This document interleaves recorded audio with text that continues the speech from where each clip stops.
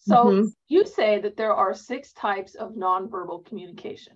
Well, I'm smart enough to know that nonverbal communication means everything that doesn't come out of my mouth.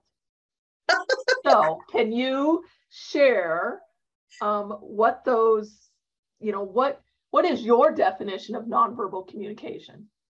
I think you've got it. It's it's well, it's not actually that's slightly incorrect because what comes out of your mouth one really verbal communication is words.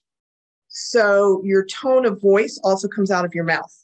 And your tone of voice is one aspect of nonverbal communication. So verbal if you think of verbal as words verbal is the what you say the specific words you say. And then nonverbal is everything else